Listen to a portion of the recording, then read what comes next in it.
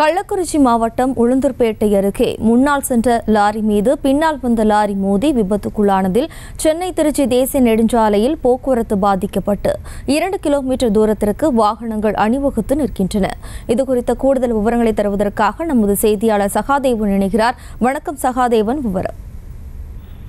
வணக்கம் அதாவது கள்ளக்குறிச்சி மாவட்டம் உளுந்தூர்பேட்டை அருகே சின்னக்குப்பம் கிராமத்து தேசிய நெடுஞ்சாலையில் சென்னையிலிருந்து திருப்பூருக்கு துணி லோடு ஏற்றி சென்ற லாரி மீது பின்னால் வந்த ஆந்திராவிலிருந்து திருச்சிக்கு இரும்பு லோடு ஏற்றி சென்ற லாரி அதிவேகமாக மோதி விபத்துக்குள்ளானது.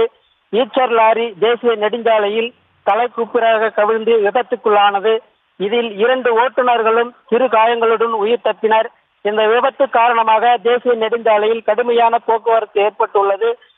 கிறிஸ்துமஸ் ஆங்கில புத்தாண்டு அரையாண்டு விடுமுறை அளிக்கப்பட்ட நிலையில் சென்னையிலிருந்து தென் மாவட்டங்களுக்கு ஒரே நேரத்தில் ஆயிரக்கணக்கான வாகனங்கள் வருவதால் போக்குவரத்து நெரிசல் ஏற்பட்டு இரண்டு கிலோமீட்டர் தூரம் வரை அணிவகுத்து நிற்கின்றன. சம்பவம் அறிந்து வந்த போக்குவரத்து போலீசார் போக்குவரத்தை மாற்றுப்பாதையில் அனுப்பி வைத்து போக்குவரத்தை சரி செய்து வருகின்றனர். இந்த விபத்தில் சிக்கிக்கொண்ட வாகனங்களை அப்புறப்படுத்தும் பணியில் ஈடுபட்டு வருகின்றனர். இந்த விபத்தை குறித்து திருநாவலூர் போலீசார் விசாரணை நடத்தி வருகின்றனர்.